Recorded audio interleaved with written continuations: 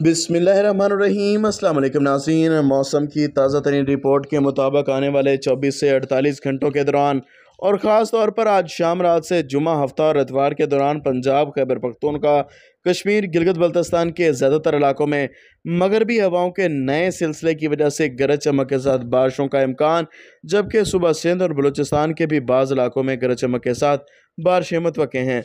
तफसीत के मुताबिक मरी रावलपिंडी इस्लामाबाद, खिता पटोहार, अटक चकवाल जेलम मंडी बहाउद्दीन, गुजरावाला, गुजरात, पालिया, सोहावा, सरगोदा, लाहौर, नारोवाल, सियालकोट, ननकाना साहिब, साहिवाल, चिश्तियाँ, लिया, भक्कर, फैसलाबाद, जंग, मियाँ, चन्नू, दुनियापुर, बहावन नगर, रहीम यार खान डेरा गाजी खान, मुल्तान, अठारह हज़ारी कुंदियाँ और मियाँ वाली समेत पंजाब के बेशतर इलाकों, पिशावर, चित्राल, दीर, सवात एबटाबाद डेरा इसमाइल खान, टांक बनु कोहाट, मरदान मानसरा समेत खैबर पख्तूनखा कोयटा जो बारखान किला सैफुल्ला, किला अब्दुल्ला समेत जल मक्सी और मलिका इलाकों में गरज चमक के साथ बारिश का इम्कान। इस दौरान दादू, मोरो, कराची, हैदराबाद, मीरपुर, खास जामशोर समेत सिंध के भी मुख्तलिफ़ इलाकों में गरज चमक के साथ बारिश मतवक़े। अपने इलाके के मौसम से बाखबर रहने के लिए शहर का नाम कमेंट करें। हाजिर होंगे रिपोर्ट के साथ। इजाज़ दीजिए। अल्लाह हाफिज़।